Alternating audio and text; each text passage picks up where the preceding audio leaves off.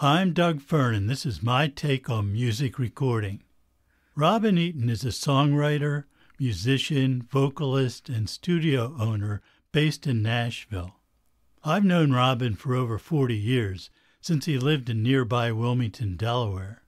He came into my studio around 1980 to record demos for several songs, and I was blown away by the quality of his compositions. In this informal and wide ranging conversation, Robin talks about his early influences, such as writing poetry when he was five years old, his adventures in the music business in the U.S. and in Europe, and how he eventually settled in Nashville and now owns two very successful studios. We talk about some of Robin's songs. There are links to the songs on my podcast website, dougfearn.com under Extras. As a songwriter, Robin has had a long time collaboration with Jill Sobule and many others.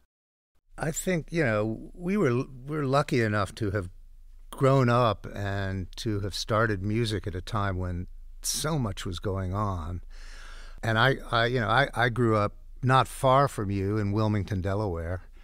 And, you know, I was kind of a middle class kid with my father was really into the big band scene and Frank Sinatra and um, you know also musicals. I can remember running around the dining room table, you know, singing songs from Oklahoma, you know, and then and then and then getting into you know I'd I'd ride in his little car to school, a Metropolitan, and he always had the radio on, and I remember I always was drawn to kind of quirky songs like Purple People Eater and uh, My Friend the Witch Doctor and there was there was the full spectrum of what was on the radio that I got to hear usually in a car. This was in the 1960s? This was actually in the late 50s. You know, I mean, I I uh, in the the 60s of course I listened to the Beatles and the British invasion. But before that, I went to see Peter, Paul, and Mary in Philadelphia. I went. I never saw the Kingston Trio, but you know Charlie on the MTA. Uh, you know, I found a ukulele in the closet. Had been given to my my grandparents. Uh, from Lily Queen Liliuokalani. It was this beautiful little uh, ukulele, and I once I discovered it, I, I, sort of started plunking on it at probably the age of twelve or so, and then by the time I was in my teen years, uh, I was uh, I had moved on to uh, getting a Stella, and then from a Stella moved up to a uh, a Guild D44, which uh, I still have, and which is sitting over in the corner there. And you know, it was, you know, getting into bands in the Wilmington area. It was pretty pretty cool. You know, there were there were so many great people to uh, work with. I mean, I was in school, played dances, you know, that sort of thing. Well, that was a pretty amazing time. I mean, when you turned on the radio, in, in the 60s, it was every day there was something you never heard before. I mean, not just you hadn't heard that song, it was a sound you had never heard before. And it was a really exciting time. And I think that inspired a lot of people to make music because, you know, there were no limits. It, it was prior to that, I think to, for the most part, it, everybody was pretty much in the same genre. And, right. Uh, and now suddenly you had, didn't have those restraints anymore. I know it was it was amazing, and it was the excitement of being in of of being a, a player and a, a, musician in the 60s was that there were no limits. And someone had told me, you know, you're never off more than one fret, so just go for it, you know. and I, I always like that advice, you know, the kind of idiot idiot advice, so like just just go ahead and play, because your studio. I mean, this was jumping forward to the the 70s, but I know a lot of the people that I played with ended up recording at Veritable. You know, some of them are, are, are gone, but some of them are still around. Um, it was so exciting to come into your studio and actually do real demos, you know? I mean, I think, uh, you know, it was really a formative thing for me to uh, look at that big uh, dial at the back, you know, that big meter behind you, and you standing there, and it just all sounded so good to me. We did three songs. I went to Paris shortly after that, following a girl over there. And, you know, I was playing in Paris at the American Center and uh, always looking in the paper, and I, I saw what's called a petite annonce, which is like a little announcement in the paper. Uh, producer seeks singer songwriter, and I went over to this place and knocked on the door, and this guy came to the door with a parrot on his shoulder. Uh, John, John Pierre Casacoli, his name was. And he said, "Oh, Robin, come on in," you know. And w- went in, had a cup of tea, and I put on the songs from Veritable, and he went, oh man, I think I can get you a record deal. And he went out and got me a record deal with Warner Brothers in Paris, which was hilarious and fun. So I got to, I got to uh, hang out in Paris with my lovely girlfriend and make a record. That's great. yeah, you I never mean, know. You never know where things are going to lead. You never do, and I, that's that is a good point for people in who are starting out or are young and, and thinking that it's impossible to do, if you just keep doing it, you know, somehow, you know, somebody's going to find you and love what you do. So that was that was a kind of my start in the actual music business, you know, doing TV shows with Iggy Pop and in the south of France and I remember another guy who had a parrot on his shoulder that I did uh, this thing down in Cannes, this TV show with this guy who, like, you know, it was all singing to the track. So it was kind of funny, and the French TV was is pretty bad, but uh, it was kind of great with Iggy Pop. I remember he he was singing along to his song. He wasn't singing along. He was just standing there, and the guy with the steady cam was holding the steady cam, and Iggy Pop, you know, he lit a cigarette while his song was going on, and uh, took a deep drag, looked into this big lens, and put his cigarette out on the big lens. the guy was complete, and I thought to myself, man you know that's that's what it takes. You know i was there with my white suit and you know dutifully singing my little pop song. And iggy pop blew my mind. And he just when he came off stage he said uh that's uh you know that's just showbiz. You know he was very nice came back, I was in bands in New York, and uh, I was in a band called the Leisure Units, which I don't know. I'll be amazed if any of your listeners know know who the Leisure Units were, but it was an amazing band, and we almost got signed. Uh, we had a final audition with Clive Davis, who passed, but um, it was great. We played CBGBs, and you know.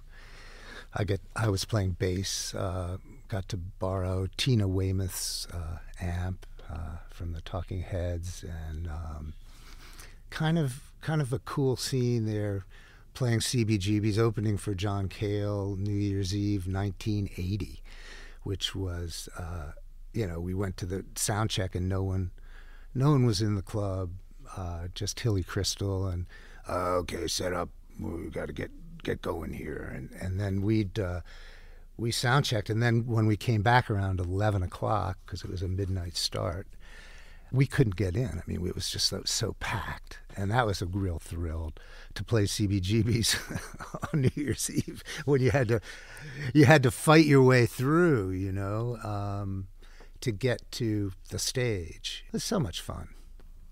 So, at what point did you start writing your own songs? Uh, I started writing my songs uh, probably when I was about five years old, I started writing little poems and, you know, like D is for dog. I think that is right. And I'm sure that some dogs are quite able to bite, and some are so big and some are so small, and some dogs are hardly a dog at all. A collie's a dog that has lots of hair, but I'm told that some dogs are partly just partly bare. I mean, you know, that was third grade, and from there on, you know, I kind of just kept writing little crazy verse. And once I picked up the guitar and the ukulele, it was just a segue into writing my own songs. Well, Com- hints of greatness at five years old. well, I'm amazed I know that still. You know, in some of the little bands that I've played in, I've I've used some of my older poetry and to write songs, which uh, has turned out okay. Well, I know that uh, from from the the demos that you did, you know, in my studio, that I was just blown away by the quality of your writing, and the, the songs were so clever. We actually, on a project I was working on, we actually used a couple of your songs. You remember that? Uh, I don't, but that's uh, that that's not unusual that I don't. what what project? Oh yes, I think I do remember that we use Kong song. Right, right. Still do that song, but that's a great song. Well, what and was the pro- what was the project? I, I, was working with a couple of arrangers who wanted to do this album, and it was this kind of eclectic collection of songs. And uh, the the project never went anywhere, even though we had great people playing on it. I mean, let's see, I don't think it was on any of yours, but we had Bernard Purdie playing drums on most of the tracks. It was really a a oh, really oh, wow. fun project. And the other song, and I can't remember the title of it, but it was about always getting a busy signal when you were calling your girlfriend. Huh. Remember that? What's the name of that song? Well, there is, uh, let's see, I did Murder in the Dark, Kong Song, and Bacon Burger. And then I did a song on Z Records later that had 246 8000 right about the time that that other telephone song came out, which yeah, didn't bode. That's the one.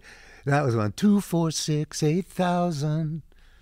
All, all those times, my fingers in the holes. Oh, cold shoulder. I think I do remember. I think I have a copy because I have a copy of that song sung by someone else and I don't know who it is.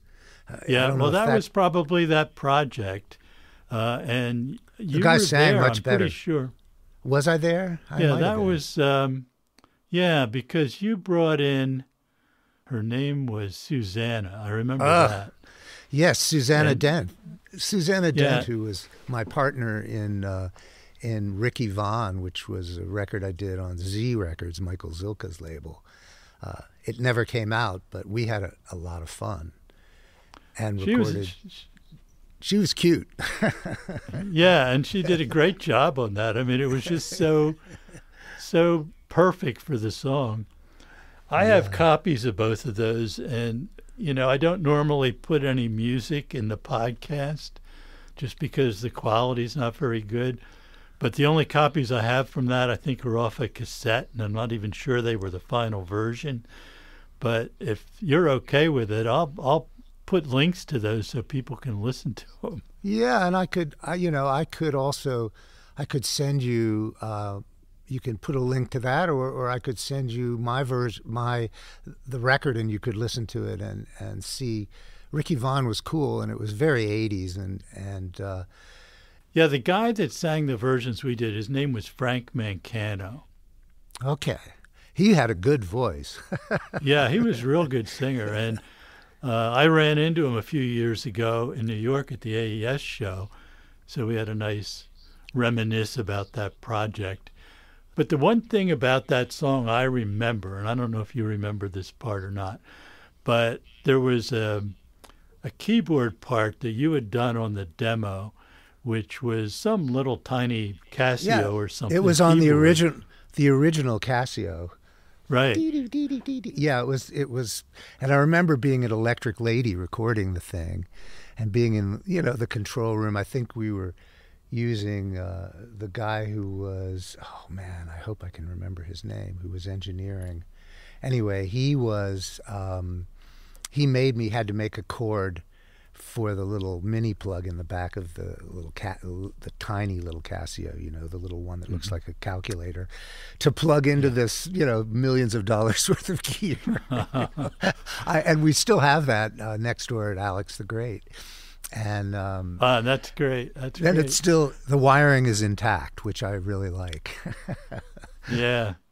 Well, I remember we had in my studio we had a whole ton of synthesizers. So we figured, you know, we'll pick out a nice synthesizer for that part. And we played around with everything, and nothing sounded right. And finally, I said, and, and I yeah. think you played it. And I said, yeah, I said, Robin, let's just put a mic on that little thing and record it.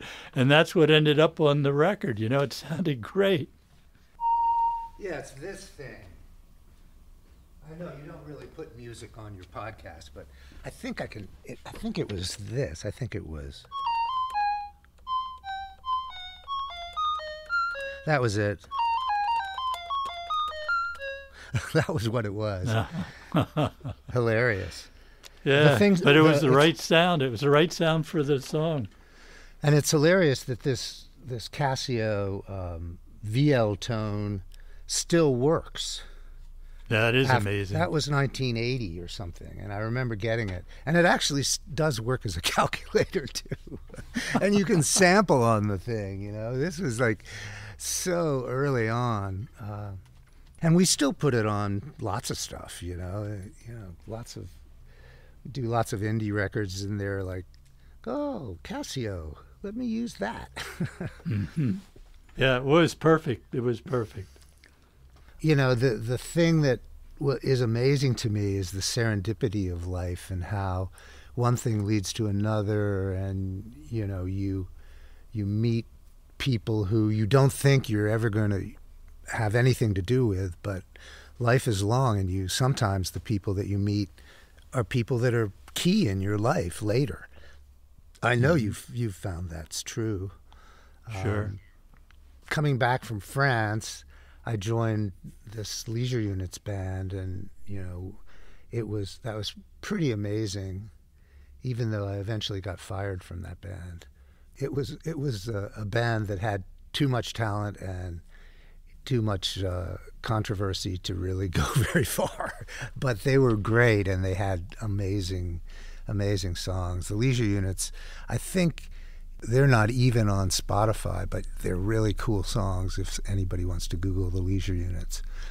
After I left the Leisure Units, I one of the guys in the Leisure Units said, "Hey, I'm going up to see this guy Michael Zilkha. Do you want to? Um, do you have anything you want to play for him? I'm going to see if I can get a record deal. He's signing everything south of you know 14th Street." And I was like, "Oh, okay. Uh, here's a here's something I did in my room, which was on a little Porta studio. And he went up and he came back and I said, Well, did you get the record deal? He said, No, you did. so I, I, I, got signed to Zilkha, which was fantastic, you know. And, um, you know, he, he spent a bunch of money on me and eventually the record didn't come out, but it was, it was great. I think I worked. What do you remember the name of the the uh, studio that's outside of Philadelphia that was in the old Remington, maybe uh, gun factory. Yeah, I think so. It was in an old, old it's in old an old building. It, right. it was in Glad, Gladwyne. Yes, it was in Gladwyne. It was, yeah, KGEM. KGEM. Thank you. Yeah. Thank you. I was yeah. I was trying to remember that. Um, yeah, it was the initials of the guys that were involved in establishing that studio. Is that and still exist? M, well, you know, it became the Boyz II Men studio after they left. Ah, okay. And but I don't think it's a studio anymore. But I may be wrong. Well, at some point you moved to Nashville, right? Right. Well, after I lost my record deal with Z, I met a girl at a party at uh, George DuBose, who was a photographer who took all the pictures from CBGBs and stuff. He'd taken pictures of me and Susanna for Ricky Vaughn. He was great, and he had a, a, a loft on East Third Street, which was a ground floor loft, sort of across from where the motorcycle uh, the Hell's Angels uh, hung out, and uh, I remember going to a party all dejected because I'd just gone up to the Z office and I said, "Hi, how are you, Michael?" Yeah, I, I always went to get my check, you know. And he goes, "Like, Robin, I'm so sorry, but I, I can't give you a check this month. you know, mm-hmm. we're we're, we're going to drop you. I'm sorry." It was really so I was bummed out, but then I ended up at this party, and this girl came over and said, "You see that girl over there? I think she likes you." And uh, that girl ended up becoming my wife and I, that was 31 years ago. Mm. So pretty wild, you know. Yeah. Um, yeah. And she was from Na- Nashville. She was still working as a model and going, you know, touring the world. But she was, um, she really well, didn't like being a model at all. She said, "Well, why don't you try Nashville?" I went, came down. At first, I went, "Oh, you know, this is bogus," but uh, I remember Kate Hyman's uh, boyfriend, who had been U2's lawyer, he suggested that I go. He heard my songs and stuff. Why doesn't Robin go? Why don't you go to Nashville? That's that's where you might be able to find a home. So when I came down there, I had that in the back of my mind, and I was like, ah, I don't know about this town. But in the end, you know, it really uh, did turn out to be a really good place for me, and I've flourished here. Um, my next, the thing about Nashville that's really cool is that usually your next door neighbor is a guitar player, and I had a little, we had a little house when we, and had a daughter, and I thought my music days were over. I was working as a landscaper, but I would play, and I had a 388, a Tascam 388, would play and record up there, up in the attic of my house. And my neighbor, uh, this guy, I heard a band rehearsing next door, and he came, knocked on the door, and he said, uh, "Can I be in your band? I'm not really crazy about my band." and I said, "Okay."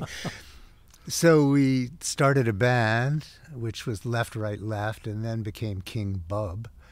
We did well in the local scene. Uh, got on the cover of the scene, I had a great time with uh, Brad Brad Talbot, his name was.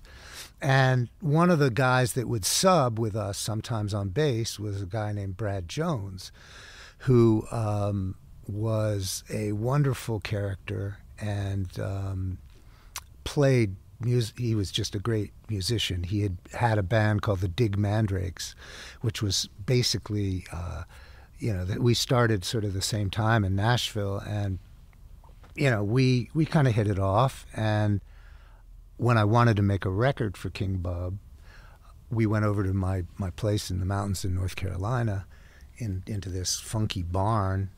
I think we had I can't even remember what it was. Probably it was an eight track, I think, and we didn't have any. You know, we had one mic pre and the drums. It was just impossible to do the drums, so Brad programmed the drums and I remember we just had the greatest time doing it. And when we got back uh, with the album, which, you know, it turned out okay, Brad said, Well, that was so much fun. Why don't we look for a place to do a studio?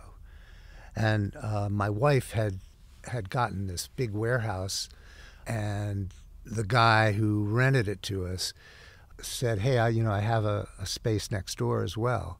So now those two spaces our uh, Club Roars, the bigger warehouse studio, and then Alex the Great is a more traditional control room, cutting room studio next door. And we built these studios uh, pr- from scratch. I mean, it was an amazing and fun experience to build a studio. I know you know that.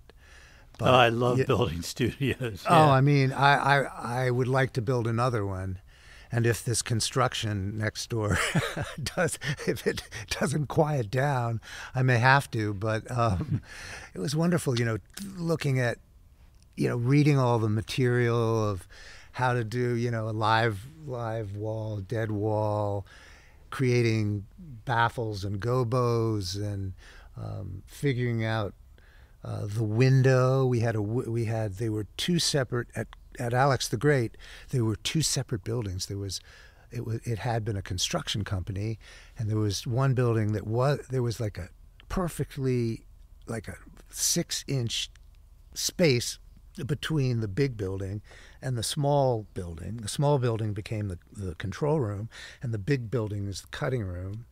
And I remember we took, we doubled up on the roof. You know, we had to get up there and, you know, made it a triple roof, and you know, constantly. Now we are always having to go check to make sure that it's not leaking, and uh, you know. But we put these windows in, and um, you know, we probably we didn't have that much money, and I had a uh, compressor, and Brad had an 1100 Neve series thing, and my compressor. I had a Demeter, uh, mic pre, mm-hmm. and we had. We didn't really have much gear at all, and then ADATs came along, and we we were some of the first guys in Nashville to have ADATs, and we built this thing on nothing. You know, really, it was and the rent that the guy was charging us was like you know four hundred dollars a month. Wow. So it was really inexpensive, and um, I mean now there's uh, over six thousand square feet here. If you were looking to price that out in Nashville at the moment, it would be really ridiculous. But um, yeah, I, I now that we own, my wife and I own the two buildings, and Brad Jones is constantly working at Alex the Great. He's doing a uh, a TV show right now, you know, doing the sound for a stop motion animation thing. I have two beautiful studios, and um, we got a couple of uh, two-inch MCIs, uh, choir machine for those that might know what that is, and you know, a 16-track and um, so we have two uh, analog machines, which we use. Uh, now I'm using the the one over here more for. Uh, I just was running inserts to it, you know, just doing, um, you know, effects, you know, out of it. Mm-hmm. Mm-hmm. And then maybe going into this DBX 180 to kind of spread. Uh, it's it's amazing using this old gear um, somebody came in the other day and said, Well, I feel like when I come into your studio, I'm going back in time. And it's, uh, it's true that we do have a lot of old gear, although we do have some new gear too, including your beautiful F, you know, your, your compressor. Having go- a good basis for, you know, just like basic gear, it's really all you need. You know, well, when I started the manufacturing business with our mic preamps as the first product, I figured there was probably a worldwide market for maybe a few hundred of those. And that would be it because that's how many studios there were. Right. Well, you lucked out. I know. And then, you know, it's just the right place at the right time because the technology was changing rapidly and the internet came along. And those two things made it possible for a small company like mine to be an international company. And with the demise of most of the big studios, that that was depressing. But for each one of those that, that left, it was replaced by, you know, what, 10,000 people recording at home. That's right. And a certain percentage of those people really understood the difference between what sounded really, really good and stuff that just sounded mediocre or worse. And so that's a large part of our business these days, which I would have never foreseen. But you're right, it's it, and it's it's just really changed because studios used to be run by very technical people who had to be because the, equipment required a lot of maintenance and you know, they might be very musical as well, but their main job was to keep everything working and translate the music as best they could to the tape format or whatever. But all that's gone. You know, for $10,000, you can set up a real quality small studio. That's true. And that's I, that's just an amazing change. My studio is is you know, our I think it's one of the coolest studios in Nashville, but it's that's just because the space is cool and you know all the junk that I've thrown in here. It's it's it's not like it's not very technical. It's it's more of an artistic expression.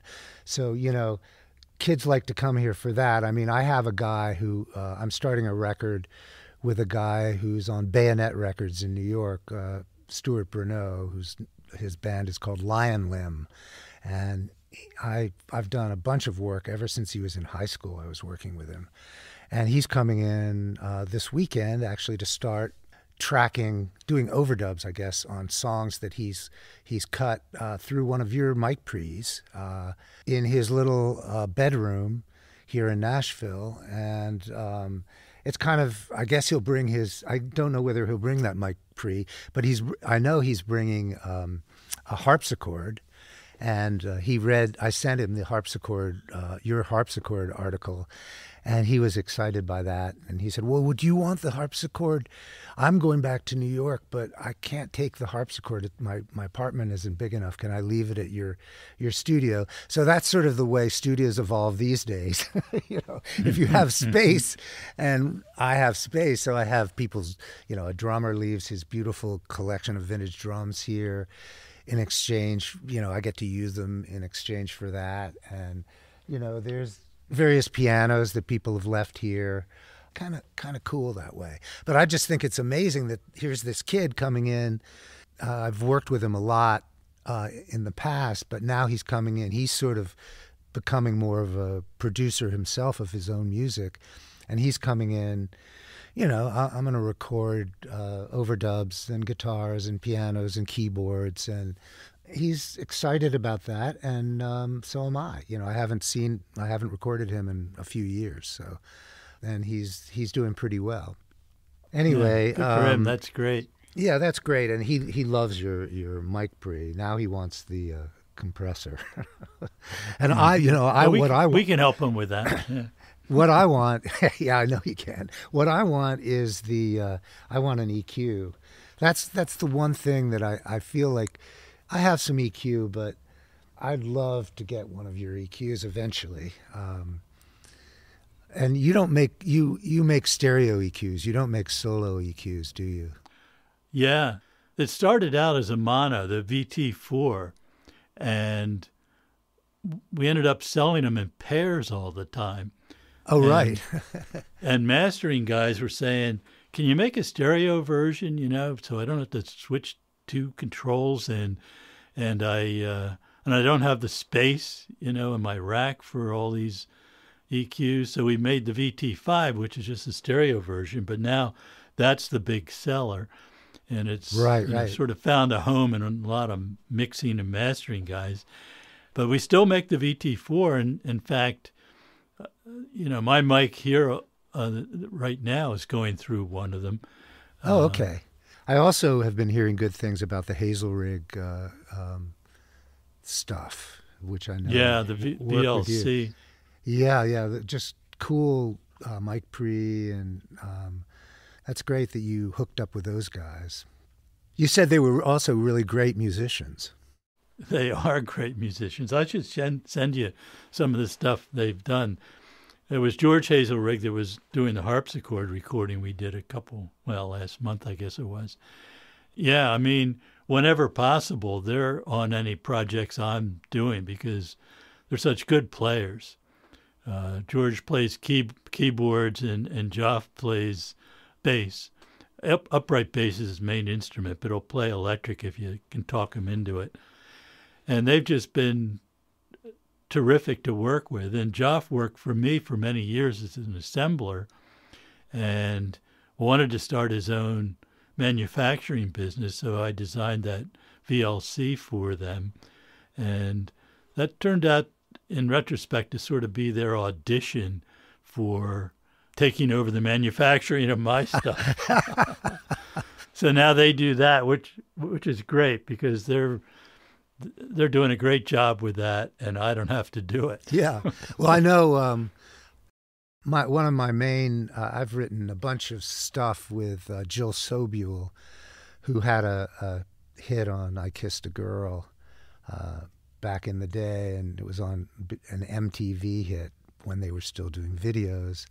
And you know, she sends she sends me uh, her iPad stuff, which sounds so good. You know, I, I, I just can't believe it. You know how how cool it is. Yeah, and, it's uh, pretty amazing. People have made whole records that way. It's, oh, it's oh yeah, it's remarkable. Well, you know that leads into the next thing I wanted to talk about was, you know, your success as a songwriter and co-writer and so on was some fairly substantial records.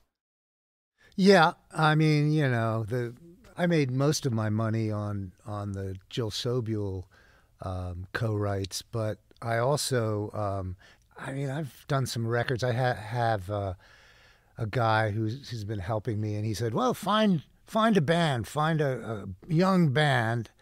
And so the the Spinto band, which the the children of my brother and Scott Burney, who was in the Sin City band, kind of staples in the Delaware uh, scene. Um, yep, I remember them.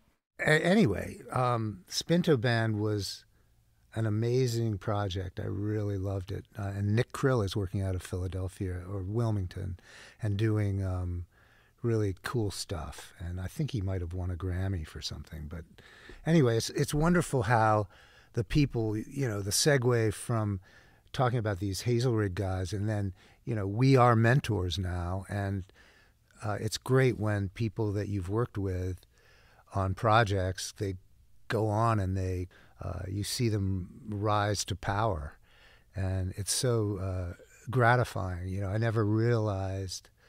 Uh, my father was a chemist, and he always said it was really gratifying to him when some of his people that uh, he worked with at the experimental station in Delaware went on to become world-known uh, chemists, and it's some of these, some of the uh, our biggest competition here in Nashville are our old are our interns. It's uh, they go off and with you know five thousand dollars or whatever, ten thousand dollars, they they build a studio and start recording, and it's just so great.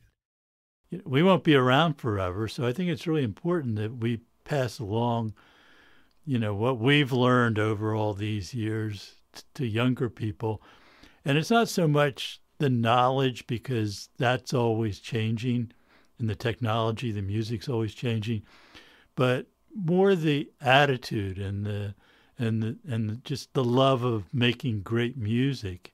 And I think that's a big responsibility we have to make sure that you know we can help inspire other people to carry on with that.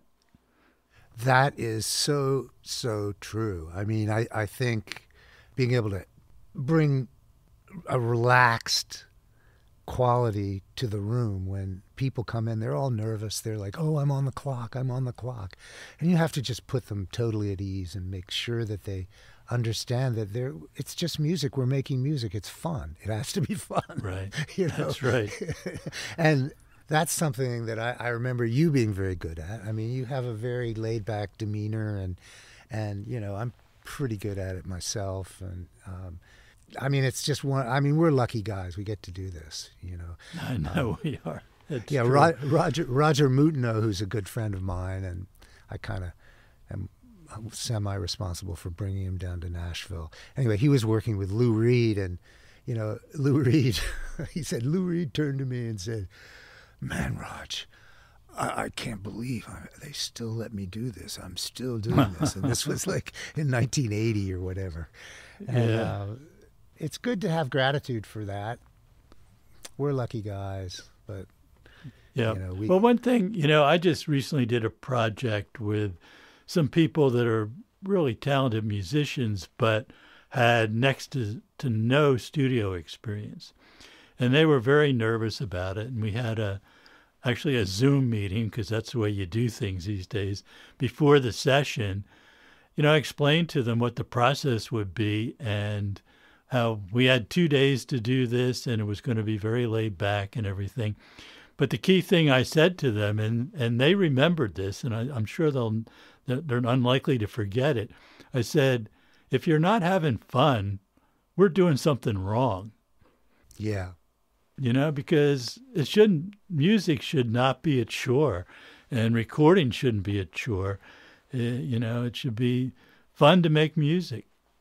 Yeah, I mean, if it isn't, you're you're in the wrong business because you're sure you're not guaranteed you're going to make a lot of money. you know, it's uh, it's just you never know when the anomaly will pop out. That's what what I always think about, and I, I love that. You know, like I can remember being in Paris making that record and this bass player who had played with a famous jazz person uh, you know, I said, "Well, can we do this again? Because I hit a, uh, I hit a bad note," and he said, "The music is the mistake." and I was like, "There's lots of, lots of mistakes that have ended up being the signature signature thing on a." The tambourine up too loud, or you know, whatever, you know, things that stick out. Yep. Yeah, you're right. I think records that strive for perfection end up losing a lot of their potential interest. Well, they do. You're right. Because now with this gear, you know, you can go over and over and over and over and over again until you get it perfect, perfectly in time and in tune. But somehow it was better when it was just the demo that was done as an instant message or as a, a voice memo on the uh, on the phone. You know, that was really good. I know that that's always been the case. You know, trying to capture whatever it was about that demo that got you right. excited about the song to begin with uh, is always a challenge in the studio. Yeah, case in point was that the veritable demos, which I didn't have the multi tracks in France, and if, if if it was today, I wouldn't have had to have uh, gone to a studio and spent you know a hundred thousand dollars to redo those because we would have just used them, you know, and mm-hmm. maybe mm-hmm. fixed a little or added something or I don't know, you know. But it's it's really true, and it's still the case that I, I find when people play me stuff that sounds good to me. I go, well, why why do you need to go beyond this? You know, what do you want to put on? And, well, we really just want to do it in a real studio. And I'm like, but it, this sounds so good. You know, why don't you just put this out? A lot of people are putting it out. You can put it out today. I don't know why. I mean, I, I have the, my COVID record. I, I, I don't know how I'm going to put it out, but I, I enjoyed making it, and I'm uh, looking forward to putting it out. And I'm trying to figure out the best way to do it. And someone said, "Well, why don't you just put it out on, on, on DistroKids. There's my doggy. there must be someone here, but um, you know, it's it's an a, an amazing time that we're living through technologically. I was I don't know if you've been checking out the Dolby Atmos stuff. Um, mm-hmm. I, I, yep. I'm I'm wondering I'm wondering about that and I, I was on vacation. I met this guy who designed the Apple stores. I think his last name was Ohm, and he called me one time and said, "Hey, I'm doing these this thing called Dolby Atmos." That was like, I guess about eight years ago or something, or ten years ago. Mm-hmm. And I said, "Well, what's yeah. that?" And he says, "Well, there's speakers all over the place, and you know, and now there's actually." You know, plugins that you can get from Dolby mm-hmm. Atmos for free. You can download that. And I, I don't know. I, have always been a kind of two speaker guy. I never was into quad or 5.1, but this intrigues me. It really does. I, I mean, I did the, the music for my daughter's uh, film, which is Mountain Rest, which is mm-hmm. avail- available on Amazon. Anyway, yep. oh, we've we've watched it. Yeah. Oh, you did. Oh, mm-hmm. I'm so so happy. Um, yeah. That's the that's the cabin in the mountains in North Carolina that I go up to. Anyway. Yeah, I I think you told me that, so I was looking at it in that light watching the film. Yeah, well, I hope you enjoyed it, and um, yeah, yeah, yeah. The the um, you know the whole idea of doing film stuff that's that's another you know you can't just do sound recordings these days you have to do video and set up for streaming during the recording, all that kind of stuff uh, adds to the interest of your studio. And um, so we're starting to do some of that. There, there's a series of uh, Alex the Great videos of some artists, uh, black and white stuff that Brad set up two cameras and just did it next door. And I mean, I just think more than ever before, there's so much, you know, the need for content is still there. And you just have to be bold and do stuff that's that's out there and, and or that's in there or however you want to put it. Some if you make something that is entertaining to listen to, you have a good shot at uh, making making it into the uh, culture. Yep, it's an important part of uh, the music business these days, and it's it's a little frustrating to me because uh, unless the project has the budget to hire somebody to do that, uh, it's really not practical, you know, to be running a session and also keeping track of cameras and all that. So we don't do as much of that as we'd like to. Yeah, well, I haven't done that much, but this room is so big that um, there's room for cameraman and all equipment in here, and we um, we've been doing a little bit of it. What is the most important thing that you've you've learned in all of your years of doing this? Oh, that's a really interesting question. Well, I always say I learn something new at every session, and I, and that is absolutely true.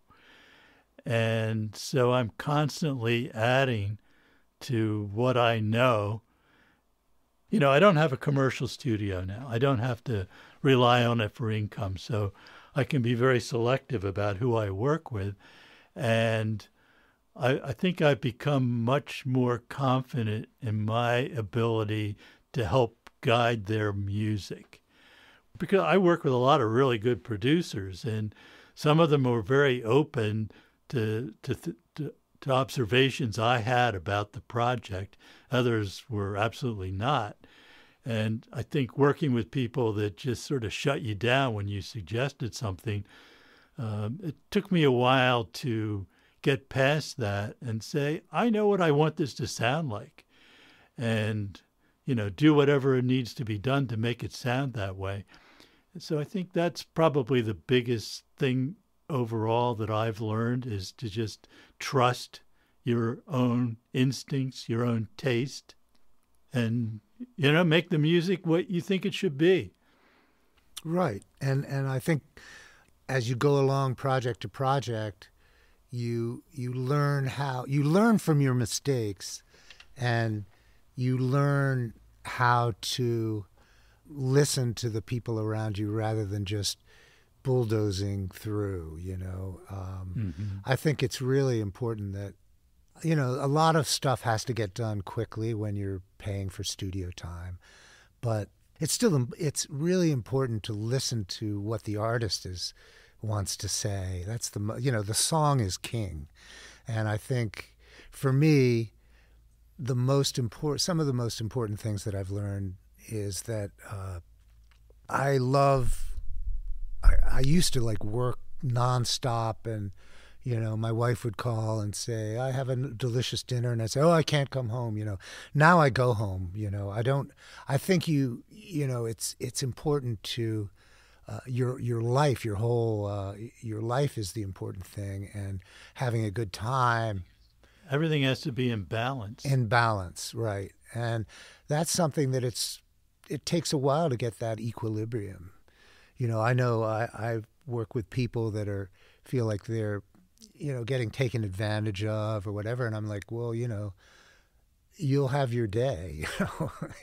You're right now you're young and you're you're you're making you're you're helping people do what they do, but you can't you, you know you you've got to realize that the this is something that it's not your project it's not you're not the the important person the important person is the artist or the song so anyway, yeah, I'm sort of with you on all that.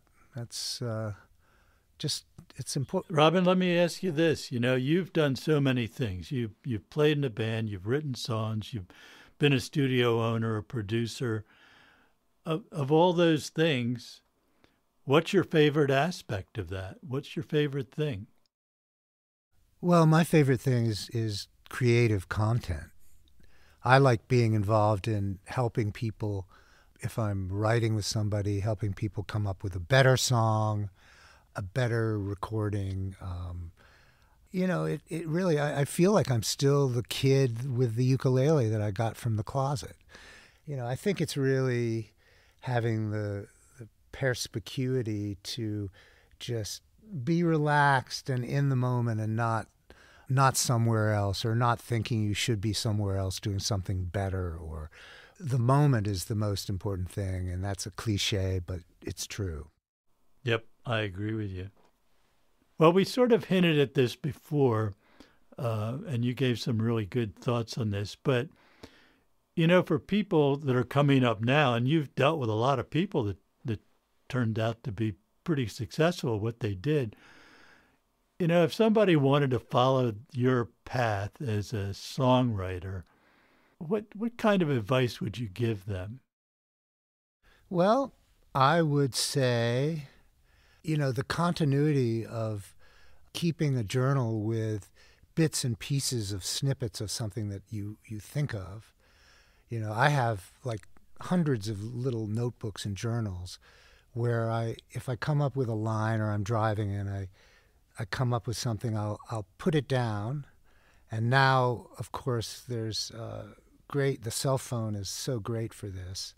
Uh, you know, you can go to Evernote or uh, you know voice memos, and just you put these snippets down, and then all of a sudden, maybe five years later, that snippet finds a home in a song most people feel like, well, I'm not a songwriter. I can't I can't do this. I don't I'm not a writer. I'm, but nowadays, you know, you can have you know, the groove is in the heart or whatever and it just it's just one line that somehow with the right singer and uh, the right accompaniment it becomes a hit. You just have to establish a continuity from one day to the next of something that you do. You create a habit of of writing things down or, or singing into your phone or and then when you get together with people and you're with uh, musicians those things are you know at your beck and call because you've you've done them and you tend to remember them more if you you've written them down or or sung them down so that's sort of my modus operandi. And also, I like doing it just on the fly. You know, if there's a band playing and I'm at the microphone, some of my better uh, songs have come out of just like improv and just like going for it. You don't say you you're, you don't say no before you just say yes all the time to the stuff that's coming from the collective unconscious. Because I really do believe that a lot of stuff comes through artists from the collective unconscious and you know it comes to everybody actually who taps into that. I know that's kind of a woo woo kind of thing to say but i really do believe that. And um, you know I, I, know that because sometimes the, i'll have a really great idea and and a, a day later i hear that idea on on a song or it comes out you know so and that's what's good about having a record deal where you can you can get it out before the other people, you know, or uh, but now you can just you can put it online, you know, immediately uh, if you're smart. Right. Well, I agree with you, Robin, about the. It, there's times where you know you do something creatively, you know, whatever it might be. It doesn't have to be in music, but in any field, and you just stop and say, "Where did that come from?" Yeah, you know, it's it's sort of a magic. Yeah, well, it is magic. We could call it magic or the collective unconscious or yeah. whatever, you know, it just pops out, you know. I think there's a lot of people are discovering that the, the amount of product out there right now is just staggering. Spotify and, you know, Apple Music and all those places you go and it's just you can you you can listen for a long time and then every once in a while you hear something that's absolutely brilliant, which is great. Yeah, I guess the challenge these days is to get that brilliant piece to break through. That's right.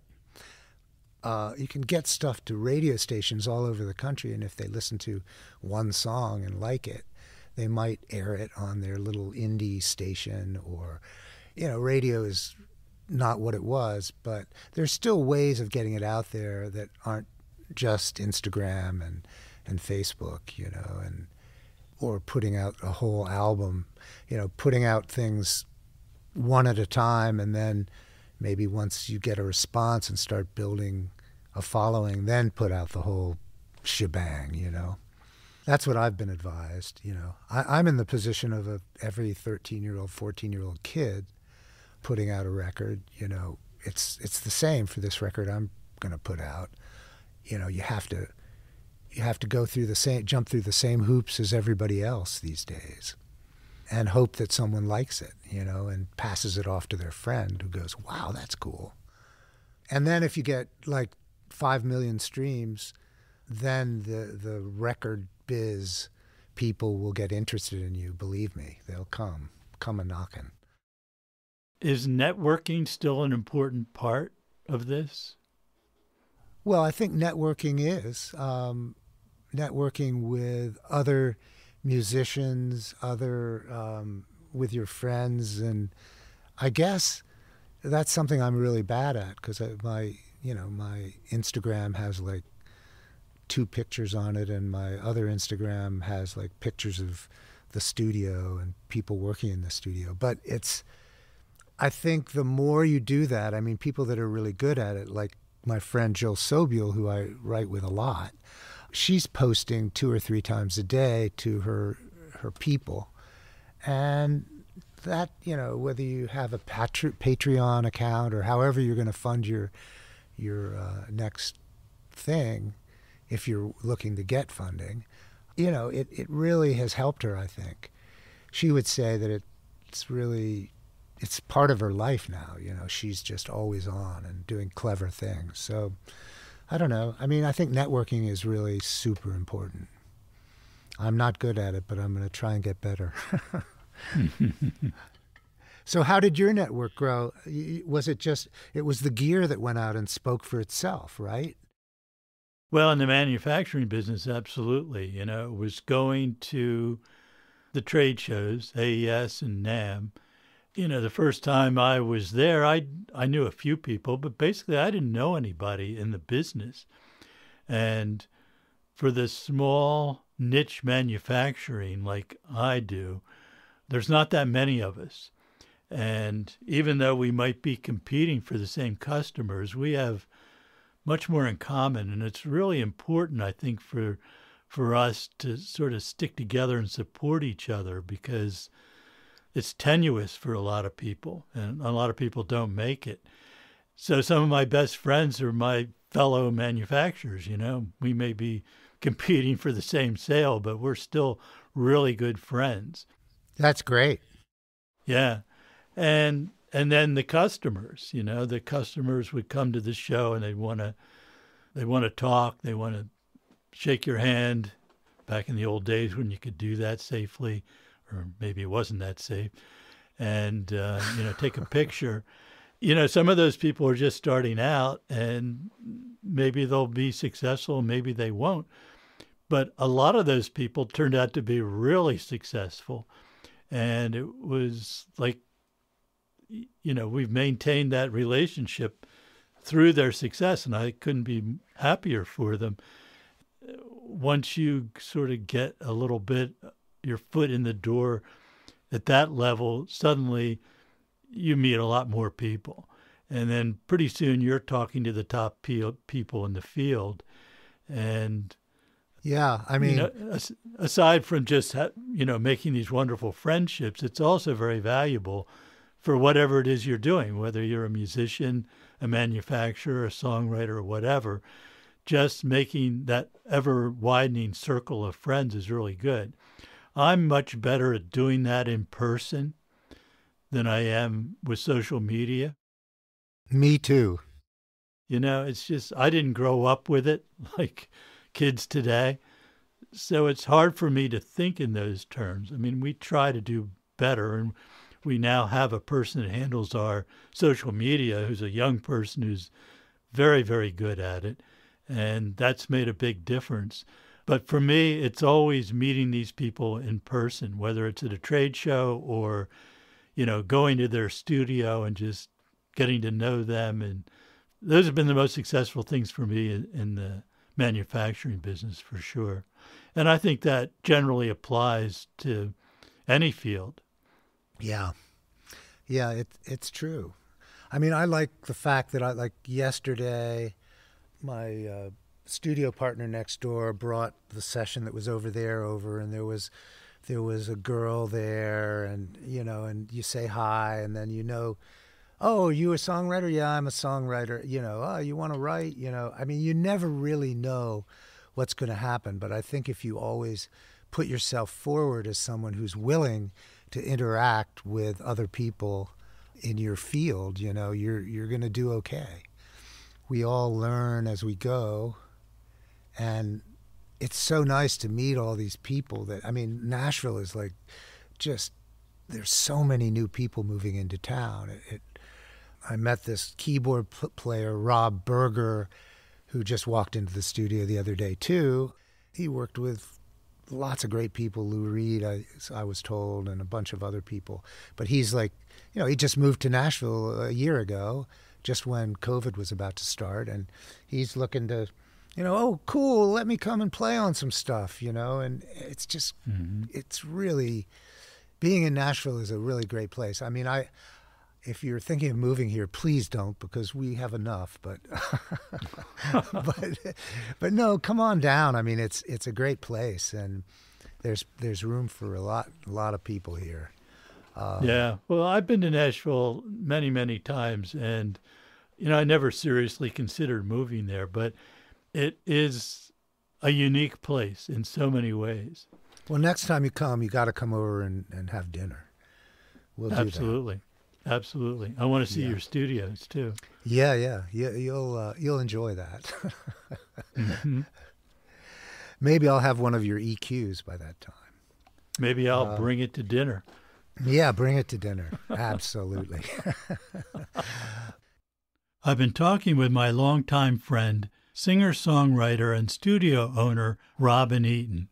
You can listen to a couple of Robin's songs on my website, dougfearn.com.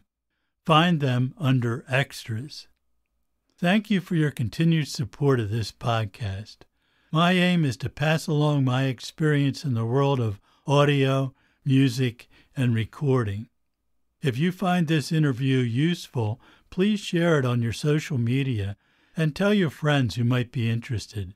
Thanks. This is my take on music recording. I'm Doug Fearn. See you next time.